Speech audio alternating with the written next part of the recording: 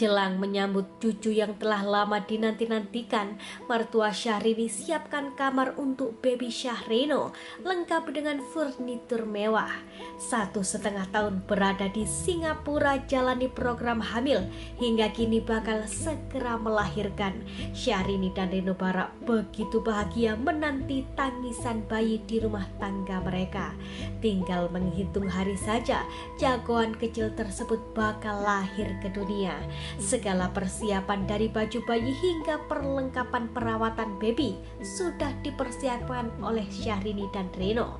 Namun rupanya di Indonesia sendiri, para keluarga juga tak kalah bikin persiapan penyambutan cucu.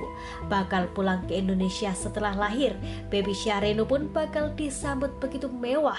Bahkan disebut orang tua Reno, Rosano dan Reiko Bara siapkan kamar khusus untuk calon cucunya.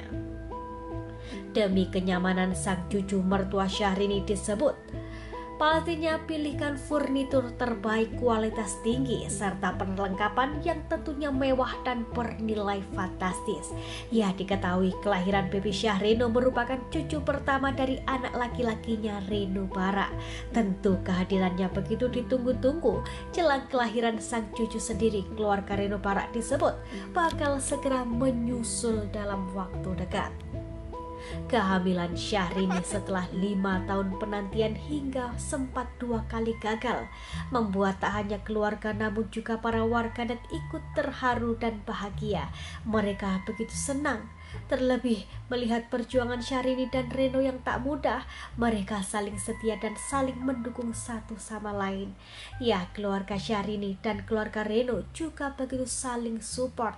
Syahrini juga begitu dekat dengan mertuanya, tak hanya kerap liburan bersama, keduanya pun kerap begitu kompak memasak bareng. Ibunda Reno Barak pun tampak begitu menyayangi sang menantu. Menurut Reno, sosok Syahrini yang begitu ceria dan kerap bikin orang tertawa serta begitu lemah lembut membuat orang tuanya begitu senang. Kehadiran Syahrini di keluarga pun membawa warna tersendiri. Wah, ikut bahagia ya pemirsa. Kita doakan lancar persalinannya, sehat ibu dan bayinya.